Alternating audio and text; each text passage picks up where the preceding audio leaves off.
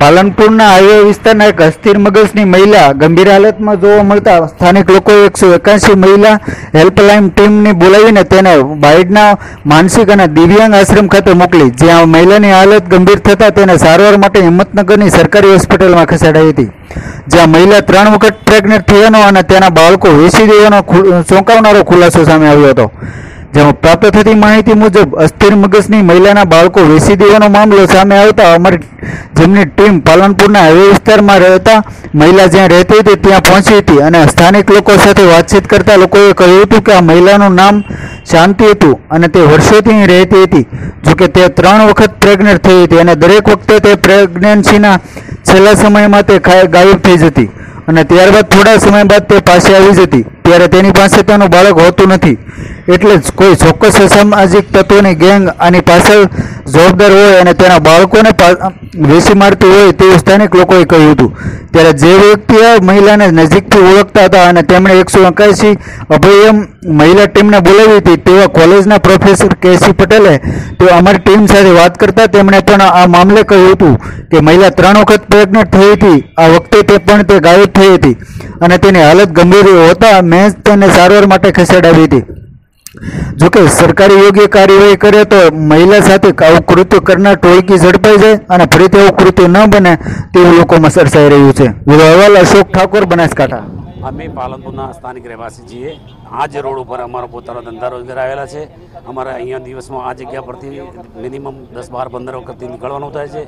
આ જગ્યા આ જગ્યા ઉપર આ ઝાડ નીચે આ ભાઈને અમે જોતા હતા અમુક સમય જોવા મળતી, અમુક સમય જોવા ના મળતી. અમે ચોક્કસ માર્ગદર્શન નથી કર્યું. પણ છતાં આ સાહેબે જે કાર્યવાહી કરી અને બાઈને સારવાર માટે જે વ્યવસ્થા કરી છે, એ જો જોતો અમને સમજ- સમજણ આવી કે ભાઈ આમાં કંઈક અજુગતું બની ગયેલું છે અને આ બાઈને યોગ્ય સારવાર મળે અને સરકાર શ્રી સહકાર મળે, એવી અમારી અપેક્ષા છે.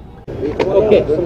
સાહેબ, ખાસ કરીને મહિલાની જે વાત છે, મહિલા કેટલા સમયથી રહેતી હતી અને એના જે બાળકો ગુમ થવાની આશંકા છે, અત્યારે મહિલાની શું હાલત છેલ્લા દસ બાર વર્ષથી આ વિસ્તારમાં મહિલા જોવા મળતી હતી, માનસિક પાગલ હતી અને એમાં ખાસ વસ્તુ એ હતી કે જ્યારે પ્રેગ્નન્ટ થતી ત્યાં સુધી અહીંયા રહેતી, પણ ડિલિવરીના સમયે અચાનક એક બે મહિના માટે ગુમ થઈ જતી. પરત પાછી જ્યારે અહીંયા આવતી ત્યારે એની સાથે એનું બાળક નહોતું. આવું અગાઉ બે વખત થયેલું, એટલે ત્રીજી વખતે અમે બરાબર એની વોચ રાખી. તો આઠમા મહિના સુધી એ અહીંયા જ હતી, પણ પાછી અચાનક છેલ્લા ટાઈમમાં ગુમ થઈ ગઈ. જ્યારે આ વખતે પરત આવી, ત્યારે એક બહુ ક્રિટિકલ કન્ડિશનમાં હતી અને એને સતત બ્લડિંગ થતું હતું.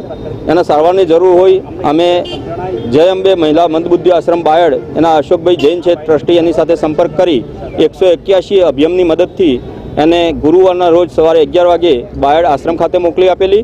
ત્યાં પહોંચ્યા પછી ધ્યાનમાં આવ્યું કે મહિલાના ગર્ભાશયને બહુ ગંભીર પ્રકારનું નુકસાન થયેલું છે અને એને વધુ સારવારની સર્જરીની જરૂર હોય, ત્યાં શક્ય ના હોય, હિંમતનગર સરકારી હોસ્પિટલ ખાતે એને ટ્રાન્સફર કરવાનો પ્રયત્ન કર્યો.